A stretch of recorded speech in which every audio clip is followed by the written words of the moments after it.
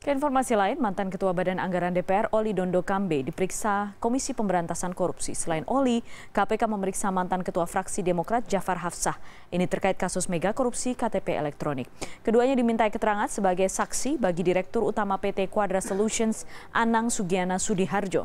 Bukan kali ini saja nama Oli masuk daftar terperiksa KPK. Pada Juli 2017, Oli juga diperiksa terkait kasus yang sama. KPK memerlukan keterangan Oli Dondo Kambe terkait jabatannya sebagai sebagai mantan ketua Badan Anggaran yang diduga turut mengetahui pengajuan anggaran KTP elektronik senilai 5,8 triliun rupiah. Tidak hanya itu, Oli juga disebut menerima aliran dana KTP elektronik 1,2 juta dolar Amerika.